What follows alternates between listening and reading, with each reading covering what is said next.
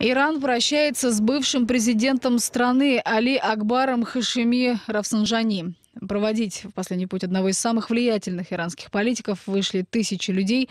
Напомню, Али Акбар Хашими Рафсанжани скончался 8 января от сердечного приступа, ему было 82 года.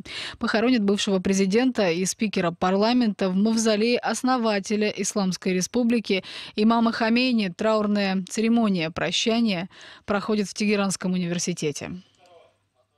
خالدين جناب حجت الاسلام و المسلمین